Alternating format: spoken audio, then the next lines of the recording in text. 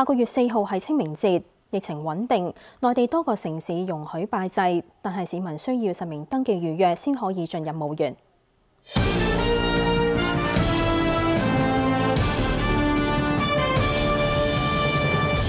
舊年因為疫情暫停清明節現場拜祭嘅廣州市，今年喺民政部指示下，重新開啟墓園俾市民到場拜祭，實名預約最多五人同行。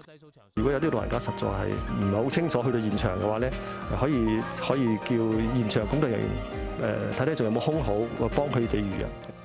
北京市就同舊年一樣，繼續開放實名預約，最多同行人數由三人增至五人。內地下個月三號開始連放三日清明節假期，有旅行社話，北京近日唔再要求低風險地區入境人士提供核酸檢測陰性證明，增加外省人到北京旅遊嘅意欲。